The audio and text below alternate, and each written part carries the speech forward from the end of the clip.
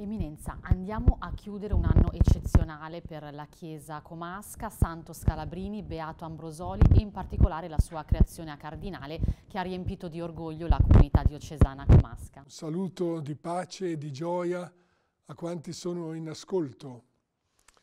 Voglio anch'io accettare dal Signore questa grazia.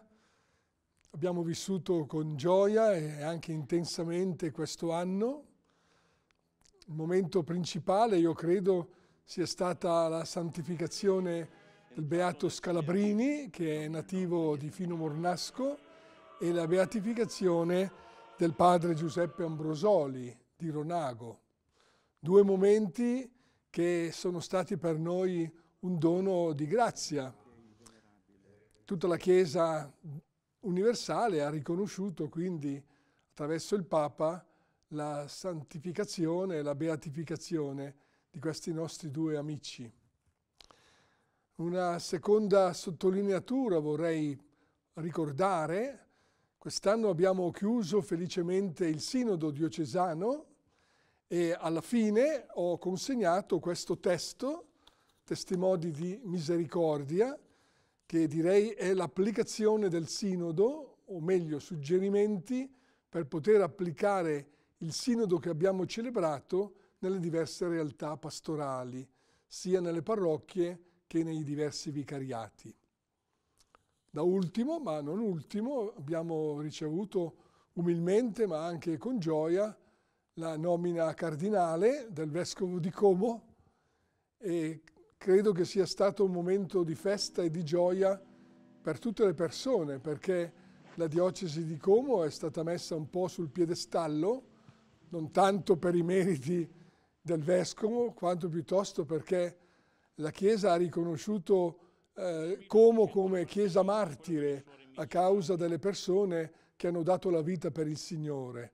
E io credo che fondamentalmente questa sia la spiegazione per cui mi sono ritrovato cardinale. Un momento di festa e di gioia anche perché al mio concistoro il 27 di agosto hanno partecipato ben 500 persone della nostra diocesi, quindi ho sentito tutto l'affetto ma anche il sostegno eh, della nostra chiesa locale nei miei confronti. Si prospetta un inizio di anno difficile tra il conflitto in Ucraina, le crescenti difficoltà economiche delle famiglie e delle imprese legate anche al caro energia. Come affrontare questo 2023 con quale spirito? Io credo che lo spirito più opportuno sia quello di avere una grande speranza perché il Signore non, non ci abbandona, è con noi dentro i problemi della vita che vanno affrontati con molto realismo. Ecco. Certo si richiedono gesti concreti di vicinanza e di solidarietà, soprattutto con le persone che hanno maggiormente bisogno di aiuto, di sostegno, di conforto, di consolazione e anche di impegno materiale.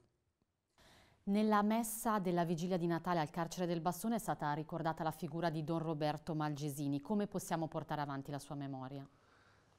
Sì, Don Roberto è molto accolto, molto ricordato e venerato, non solo qui da noi, ma anche in tanti luoghi d'Italia.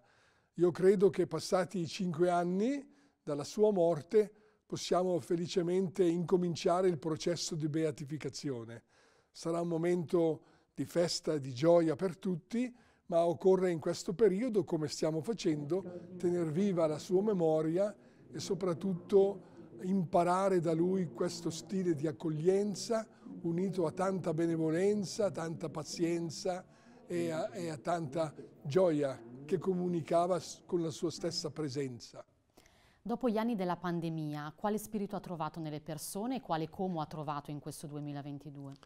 Dovremmo aver imparato una lezione molto importante, ossia che ci si salva insieme oppure ci si perde insieme.